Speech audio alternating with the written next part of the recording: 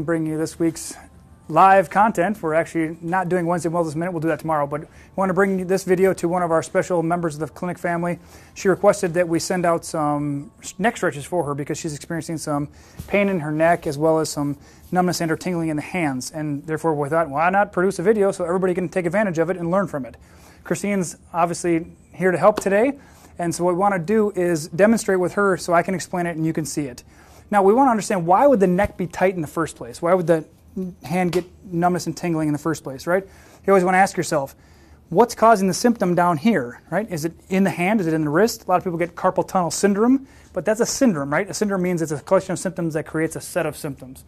So, if you have entrapment of the nerves or muscles or veins or blood vessels at the elbow, at the shoulder, at the wrist, it just depends. So don't ever let anybody tell you they're going to cut your flexor retinaculum here just because you have some tingling in your hand. It's usually coming from somewhere else. For example, the scalene muscles tend to constrict the uh, blood vessels in the arteries and the nerves coming out of the arm or neck out of into the arm. And that is oftentimes caused by neurological stress. So you might have, be having trouble holding it all together. Like life is too stressful. Holding it all together. That's where the neck gets tight. Okay. Um, some frustration, anger, resentment, disappointments might come into the shoulders with the gallbladder. So your shoulders up like this because you're frustrated, whatever it might be. So keep that in mind. But there's also can be the immune side of things where your liver and gallbladder might be involved due to maybe some viral stress. So it just depends on what your trigger is. That's why we use muscle testing and kinesiology to find out what your root cause is. So to that end, we're just going to go about through the demonstration now. And so Christine's going to show you how we're going to do this.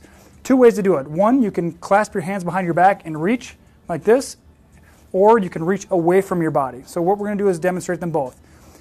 So Christine's going to stretch the right side of her neck, so she's going to reach away. And it literally feels like you're reaching away from your body. So you feel that pull in the arm and the elbow. From there, she's going to tip her head back. Okay, so we're going to stretch the anterior scalenes and part of the SCM, sternocleidomastoid.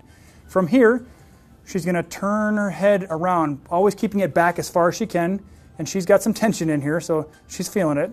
And we bring it around, and eventually, and I'm doing this faster than you should, you'd bring your head down here, and then you'd imagine you're sticking your nose in your armpit. Okay? Now, the caveat to this, or the one thing you want to think about is, as you're going through this motion, if you find, and forgive me, Christine, for pushing your head around. Let's say she finds a tension spot here where it's really starting to burn in the elbow or in the shoulder or in the neck, or maybe she feels pain in the neck. She's going to take a nice easy breath there and let her body calm down before she continues around to the next spot. And let's just say right there is more tension. Take a nice easy breath, cleansing, let your body uh, calm down. If you have extra tension, roll your eyes down toward your feet. You don't have to move your chin, but roll your eyes down. That's another neurological key for relaxation. So then she'll just continue around and then drop down eventually once she finds all her tension spots. So we want to get the anterior scalene, SCM, the middle scalene, the posterior scalene, the upper trap, and the levator scapula, all the muscles that are tied to the neck uh, from the head to the shoulder. Okay? So then if you turn the face that way, we'll just have you clasp your hands behind your back, and then you can see how the, the shoulders open up. So we'll just do her, her left side here. So she'll turn to the left and then tip her head back so you can see it from this angle. And then she's going to slowly, keeping her head far back as she can, rotate around. Now again, you'll stop at the points where they're ten, tense for you, if you will. And you're eventually going to work your way down so you can see what this looks like. And you're going to drop your, we talk about dropping your nose into your armpit, and then you can get all the stretch back here. Okay? You can relax now.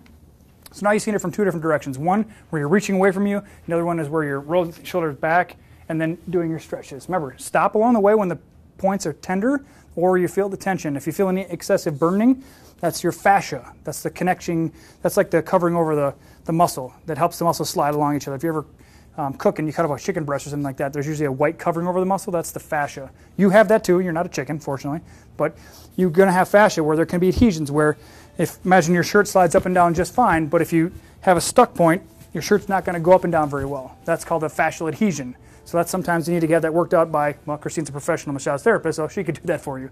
But that's a different story for a different day. So we hope this has been beneficial. Feel free to share this with your friends and families. Give us comments. Let us know what's beneficial. As you can see in the description, if you want help finding out the root cause of your problem with your neck tension, whatever it might be, just give us a call. We have that tool for you, okay? Have a great evening.